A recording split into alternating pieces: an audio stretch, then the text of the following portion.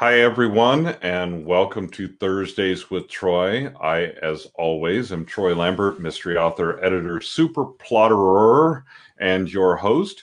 Today, I'm excited to introduce you to flash fiction and short story writer Travis J. Croken, aka the Calm Scribe, as he's known online. Uh, based in Canada, where he's just told me that the air hurts his face, Travis hosts a writing discussion show on Twitch has published a YA novel and a kids book, and is currently working on a new novel and a book of short stories. Welcome, Travis. Tell us a little bit about yourself and the kind of short stories that you write. Thank you very much, Troy, and thank you for having me. Uh, and hello, everyone. Uh, yes, my name is Travis Croken, and I write short stories, novels, uh, microfictions, uh, flash fictions, and generally I work in the areas of, uh, or the genres of thriller, horror, mystery, science fiction. My newest novel is science fiction right now.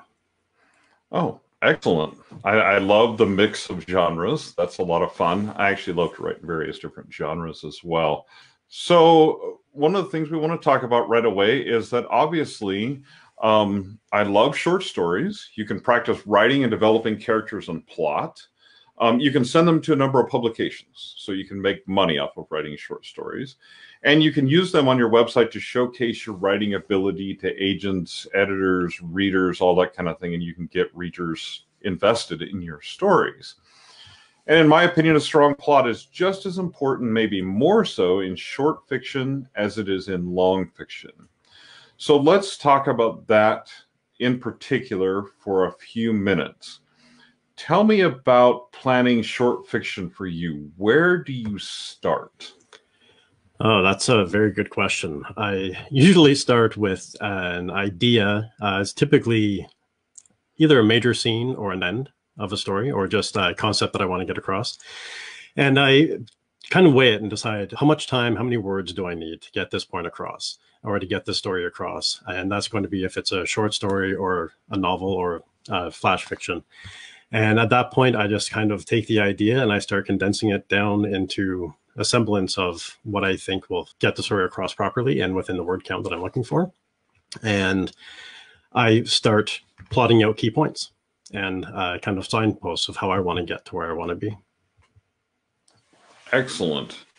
So, how do you think reader expectations differ from short stories to novels, or do they?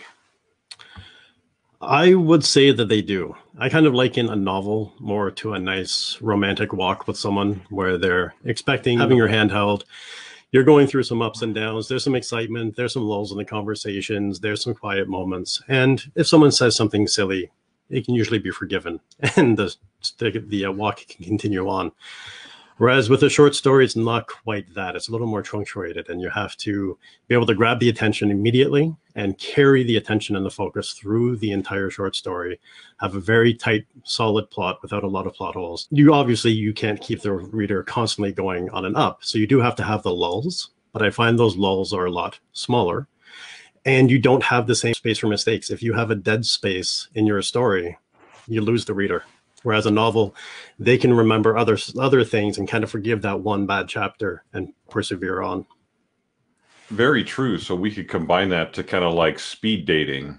You know, a, short story is speed dating. If you're going to use the dating analogy, short story is speed dating, and a novel is more of the longer relationship where you have some opportunities to mess up and forget a holiday or something. I think there's one coming up. So you, you told us you write in different genres, at least a few different genres.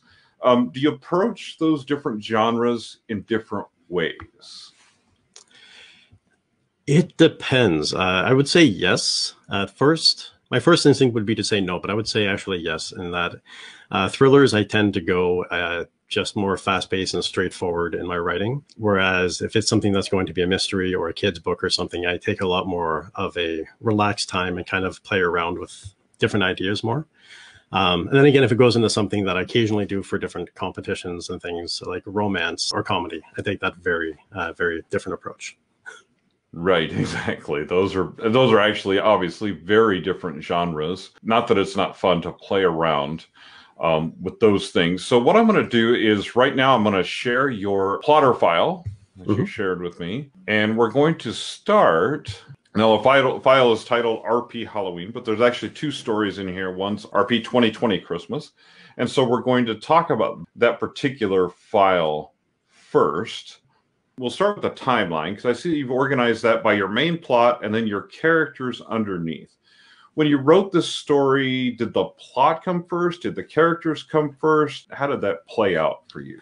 Uh, for this story, it was the plot that came first and then the character of the giant was uh, a close second to that.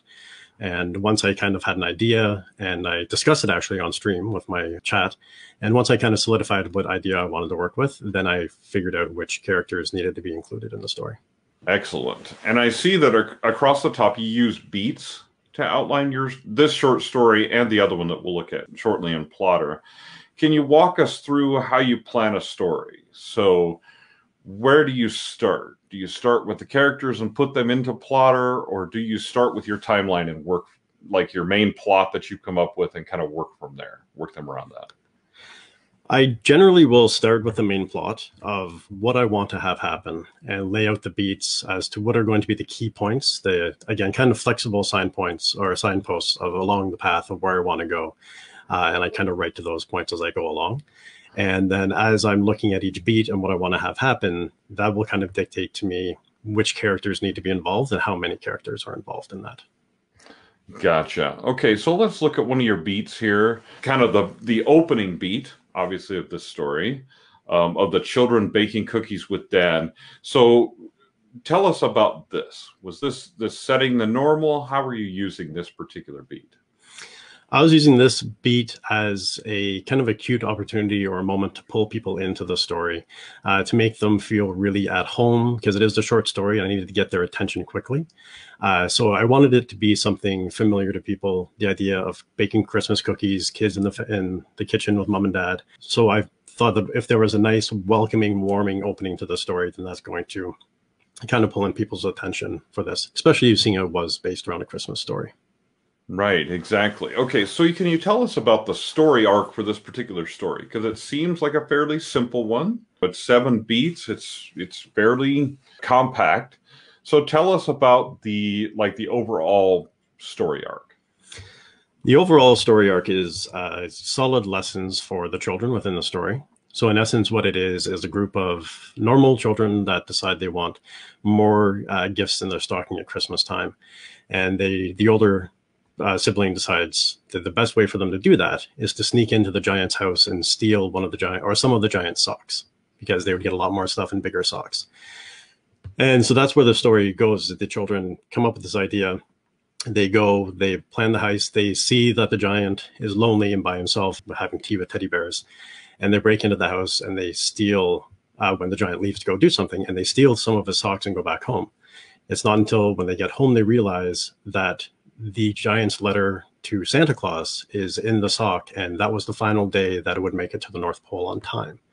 So the kids then have to go through this kind of lesson and understanding of what would happen if our letter to Santa Claus went missing. What would we do? So they were quite distraught, and they had to wait until the next day to try to return the letter. Uh, so they did almost the right thing by returning the letter, but they didn't go all the way because they didn't return the socks. So the giant then kind of nudges them. They apologize. He accepts the apology. And they invite him over for Christmas dinner. And he says that he can't accept until they have permission from their parents and until they do the right thing and return his socks. And when the uh, kids come back, he has socks for them and he does attend a Christmas dinner. So the whole arc is just having an idea of this idea to get more gifts. And they do, they break their Christmas spirit by doing the wrong thing, by stealing from someone in their community and they almost get themselves to the right thing by themselves, but they still need that little bit of a touch from an adult to help them get that way.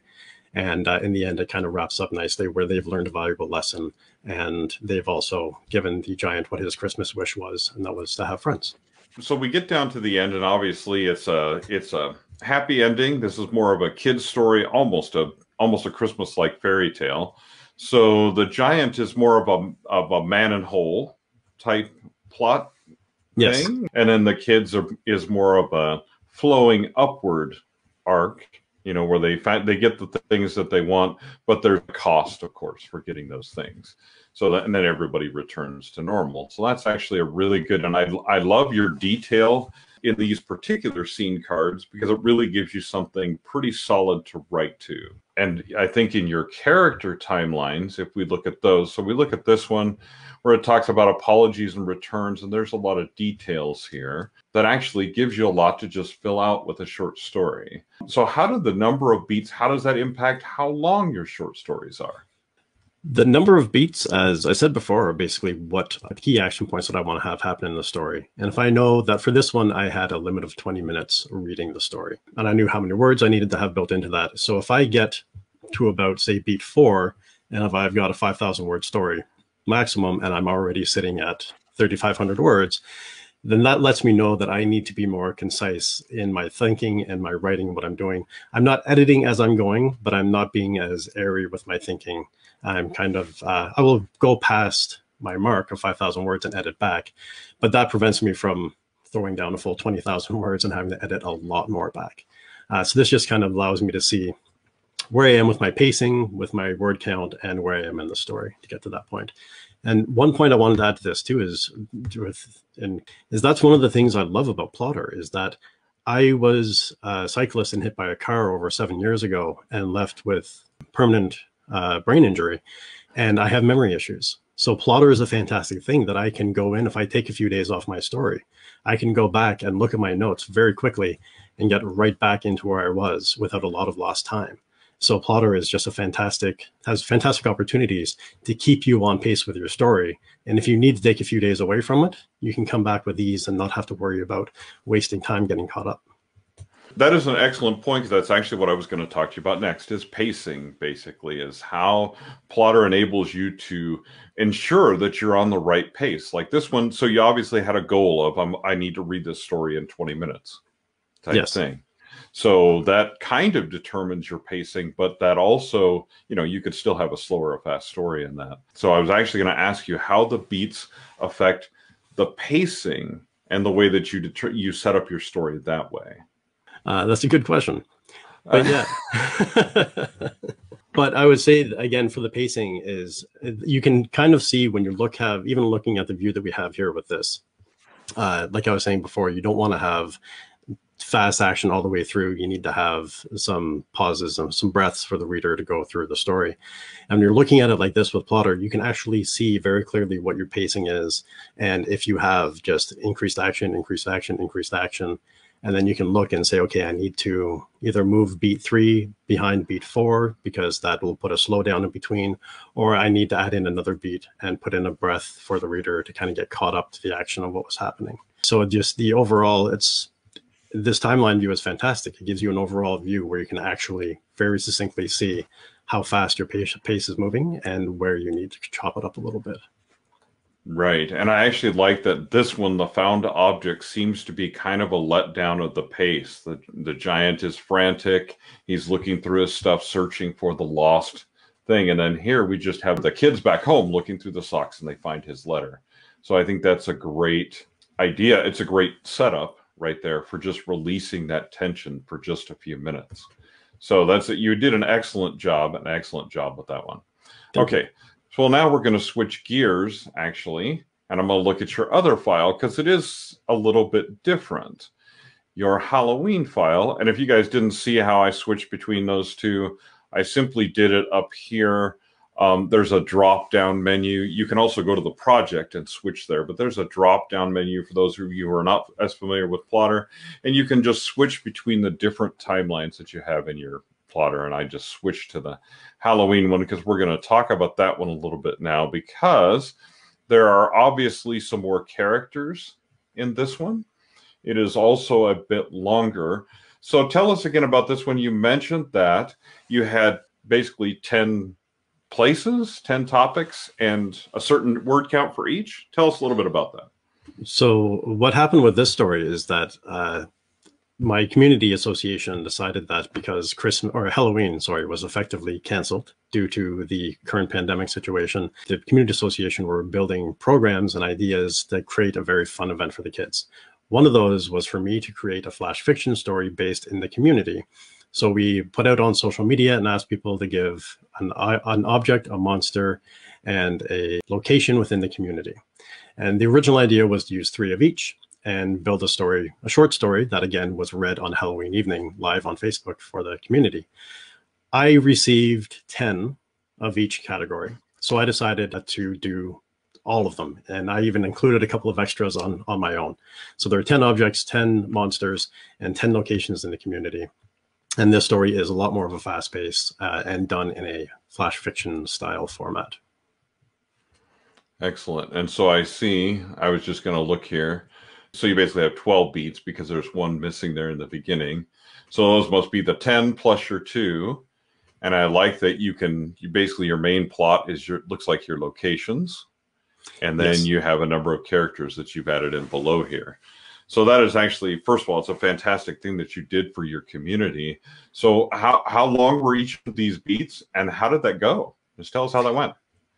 Uh, it it went very very well. It was very well received. I believe in the end there was I think it was over ten thousand people saw the reading of the video. Oh wow! Or the video of the reading. It was interesting. It was fast paced, and that's the reason why there were so many beats. And the beats were very quick because again, it was a story written for children, so it couldn't be too scary. Gotcha. I wanted to be safe with it, and for the tension spans was kept to about 15, 20 minutes of a reading. So each beat is very quick, and it's basically how they're heading out, where they interact, cross paths with a monster, how they get out of it, and then they move to the next. So this story doesn't have as many pauses and breaths for the reader or the listener. This is more of a fast-paced action, pretty solid through the story.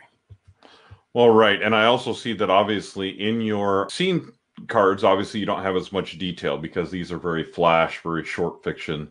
Because to read all of these in 20 minutes would be you know, pretty spectacular. Each one would have to be pretty quick. So again, excellent job on that one. I actually really like your um, your way of doing this and the way you've done this for your community. How does this relate to how you write other short stories? Do you do it similarly on pretty much each level? You know, each time you do a short story, as far as um, just assembling the beats and looking at your pacing and how long it's going to take to tell the story, or how does that work for you? Well, for my typical short stories, what I do is I'll take down the main idea, and my short stories will start either the end of the story or a key scene that I've uh, written or that I want to write. And I'll start putting those down as plot points or beats as I'm going along. Gotcha. And that's the thing that I love about Plottr is that I don't work in a linear fashion. I don't start at the end and go, or start at the beginning and go to the end, or even backwards that way. Uh, so because my brain is all over the place and I'm writing these different scenes and coming up with these different ideas, I can throw them down and then very quickly move the scene cards around and realize this one shouldn't be here and that one should like switch things. And actually the story I'm currently working on on my Twitch stream is a novel and it's The Lion of Archinomus, a science fiction novel. And it started as a short story. And I was plotting it with Plottr doing the same method. But then the ideas kept coming and it kept growing and kept growing. And then when I realized that the initial meeting between the two main characters was now happening in chapter seven, effectively, I realized that it was becoming more of a novel. And I was able to really quickly shift gears and turn that into a novel structure for the story that I was working on. But for short stories, I put out the points, move them around, and see again, I've the overall view and timeline view allows me to see how the story flows and if I've got any characters that aren't doing something they should be doing, or if I've got any obvious plot holes.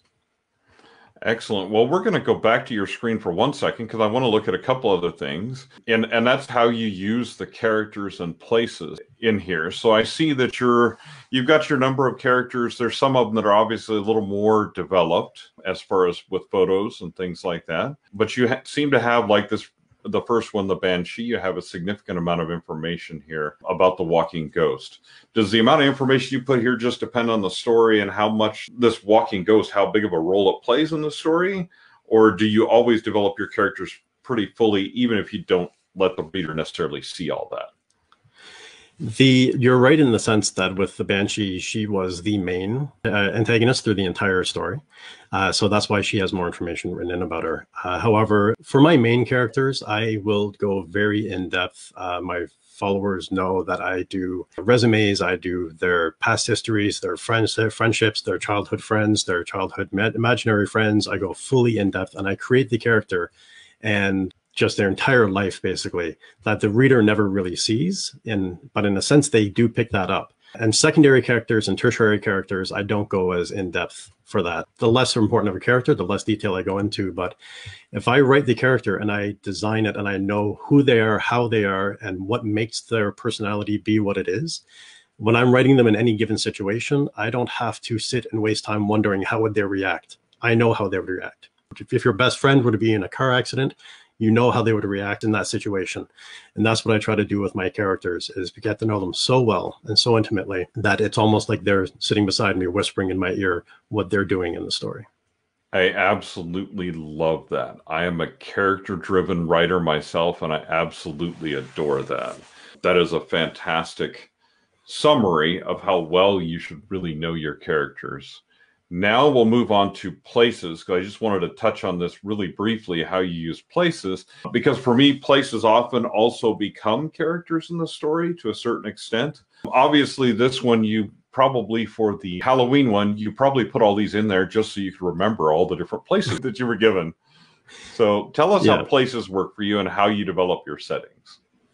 Uh, that is exactly it. There were so many places I had to, and make sure that they were done in the right order. So I needed to know logically how the children could run through the community in a loop and get back home. So the placing of the places in the storyline it was very uh, significant for me going through. But I tend to, in sitting down and interviewing my characters, I tend to do the same thing where I will visually put myself in my imagination standing in the middle of the scene in the location within the scene and look around and see if there's anything that I wasn't anticipating, anything that kind of pops up that, you know, hidden behind that tree over there, or how does this location interact with or the distance from it to the next location. If I cannot connect to my characters and to my story and to my locations, I can't expect my readers to. So I place myself in these locations and walk around like the reader would to see how I feel and how I connect. And if I'm feeling blah about the space, I know my reader is not going to connect to it either. Absolutely. That is fantastic. Well, one last thing we're going to talk uh, over in Plottr, and then I'll we'll stop sharing our screen and talk about a couple other things. So, the export process. What software do you write in? How does that export process impact your writing? What? How do you? How does that work for you?